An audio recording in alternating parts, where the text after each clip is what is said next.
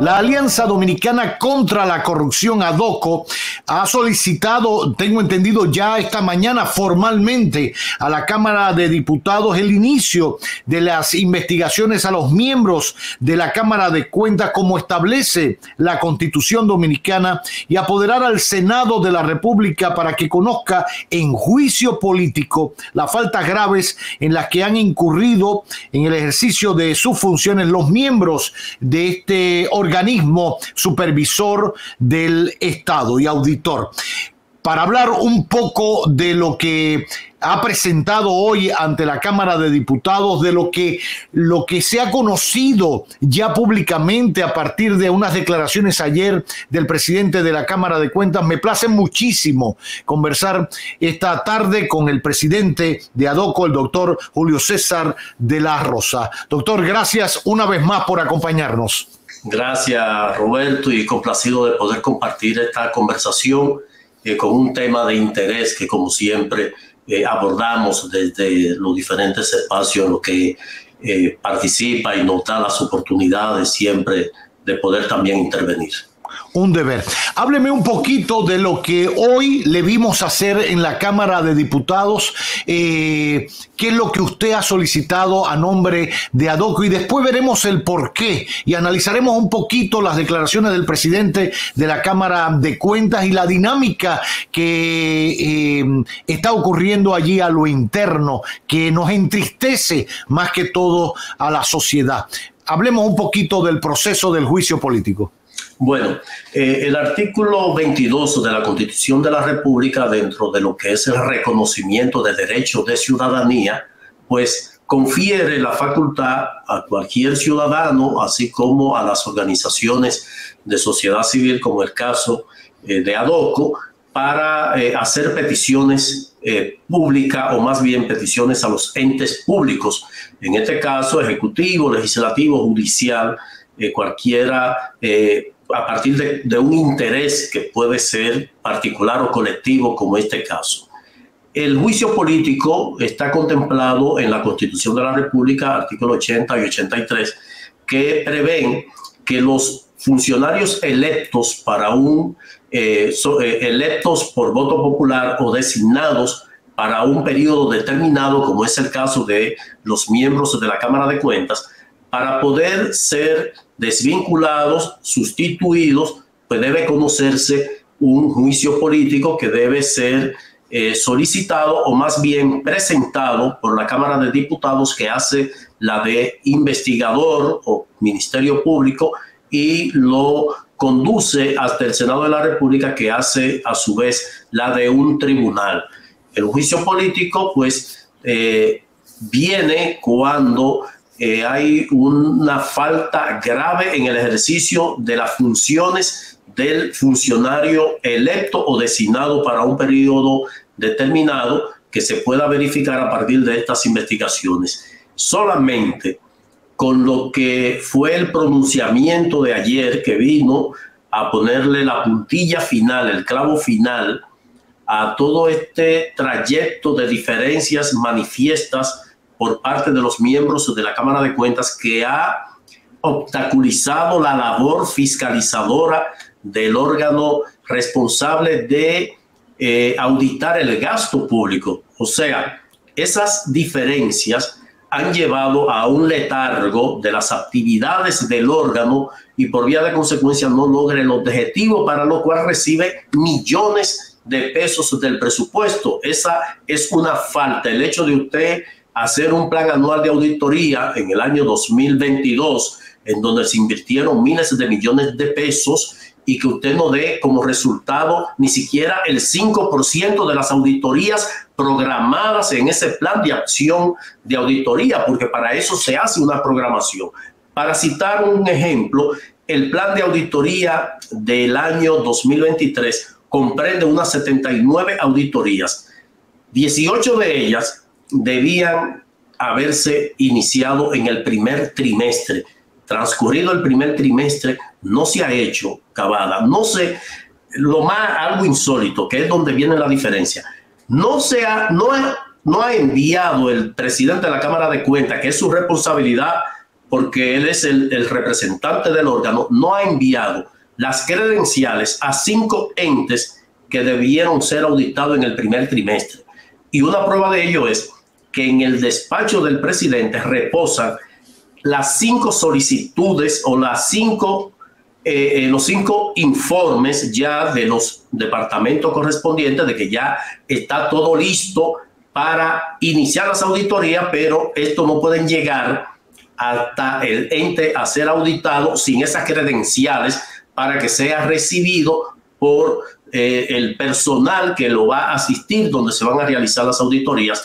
Estas cinco credenciales llevan en el despacho del presidente alguna 55 días, otra hasta 90 días Ahora, ¿y por qué ocurre eso, doctor? Usted que puede haber investigador, ¿por qué el presidente de la Cámara de Cuentas no, no le no viabiliza eso? No ha despachado eso, que es una carta diciendo eh, Juan Pérez, Juan Martínez serán los auditores para que el ente a ser auditado pues le dé las facilidades y les den las documentaciones que tienen que requerirle. Estos entes son la alcaldía de La Vega, la Corporación Dominicana de Empresas Eléctricas Estatales, que es una auditoría que solicitó la Alianza Dominicana contra la Corrupción sobre la liquidación de la Corporación Dominicana de Empresas Eléctricas Estatales. Está también el Ministerio de Economía,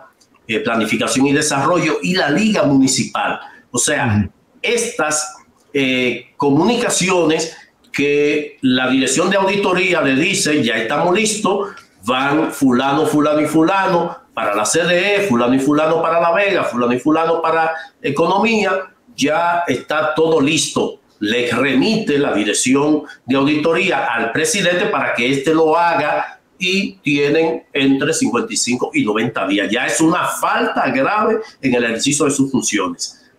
En atención a lo que es también la responsabilidad del presidente de colocar en agenda lo que se va a conocer.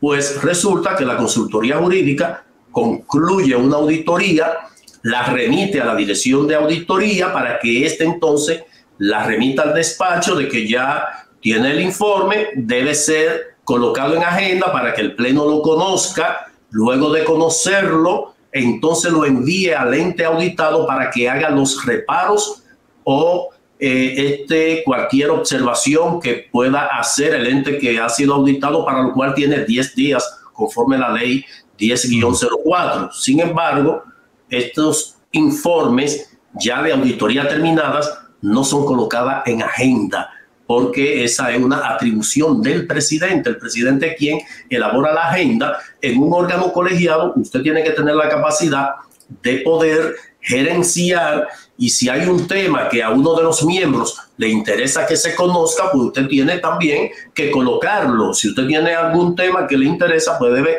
colocarlo porque se trata de un órgano colegiado donde hay un presidente que es el coordinador, no el jefe, porque el jefe es el pleno.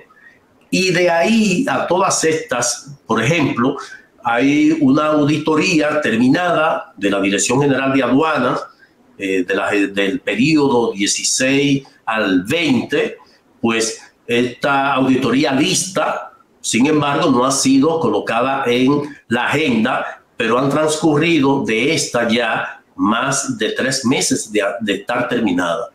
Lo que ha llamado poderosamente la atención es que supuestamente hay auditorías que fueron maquilladas en la anterior gestión. Pues la recomendación que eh, en su oportunidad eh, nosotros hicimos es que esas auditorías que no son de su responsabilidad, como ellos han detectado de que no se hicieron cumpliendo el debido proceso. Pues como esa auditoría no la realizaron ellos, pues que le den salida, si no están conformes, pues que auditen nuevamente, pero no pueden tener estas auditorías paradas porque también ponen un estado de indefensión a los que han sido auditados y que hicieron su réplica y no han recibido ningún tipo de información. Entonces, están esa auditoría ahí archivadas, esa persona sabe que ha sido auditado, pero está en ascua porque no sabe el resultado final, porque hizo las réplicas, hizo los reparos, como lo establece la ley, y no ha tenido respuesta. Entonces, Ahora, doctor, escúchame que le interrumpa. Si, si mal no recuerdo, ayer en la entrevista que concedió Janel eh, Martínez o Ramírez, A, la periodista Edith Feble y a Germán eh, Marte en el programa El Día, él decía que, eh, bueno, decía primero que la mayor parte del personal auditor de la Cámara de Cuentas lleva muchos años allí, viene de las administraciones anteriores, que él no ha podido remover a nadie porque al final es una facultad del Pleno, no una facultad de él personalmente, y el Pleno no le ha autorizado a quitar a ninguno de esos auditores, no hablo de que sean viejos o jóvenes, sino que llevan tiempo de administraciones anteriores. Eso en un punto. Y segundo, que él ha sugerido que a esas eh, eh, auditorías que se han hecho y que ha habido sus bemoles con ellas, eh, él ha sugerido que auditores externos, para lo que ellos tienen un presupuesto, creo que 700 millones de pesos que están en un banco ganando intereses y que no lo pueden autorizar, auditen una vez más auditores externos se contraten y auditen esa eh, eh, auditoría que tiene ciertas eh, complejidades o ciertas dudas sobre el procedimiento para hacerla. ¿Por qué eso no prospera? Bueno, esa es la versión que él ofrece. Esa es la versión que él da, exactamente. Habría que ver qué dicen los otros cuatro miembros del Pleno, claro. Realmente, porque él dice eso, sobre todo porque él tiene la potestad como vocero de la Cámara poder ir a un programa de televisión, nosotros no. Entonces, mm. ¿dónde se hace constar en un órgano colegiado? En las reuniones del Pleno. Claro. ¿Cómo? Si usted no está de acuerdo, usted puede emitir un voto disidente. un voto disidente sobre un aspecto si se plantea, si es la agenda, porque es lo que él no ha hecho agenda. ¿Usted sabe cuántos, cuántas reuniones deben producirse mínimo ordinaria del Pleno de la Cámara de Cuentas mensual? Mínimo dos o tres. Mínimo dos. Deberían ser cuatro. Pues se pueden contar con los dedos de la mano las eh, reuniones del Pleno que se han producido. Entonces, si usted dice eso que usted puede decir, que no pueden decir los otros, pues en una reunión convoque el pleno y donde usted plantee eso en el acta, que ya se convierte en un acta pública, haga valer de que usted propuso de eh, eh, desvincular a tales, tales funcionarios y en cambio designar a tal. ¿Cuál es la versión que yo tengo? Porque uno va recabando información. Claro.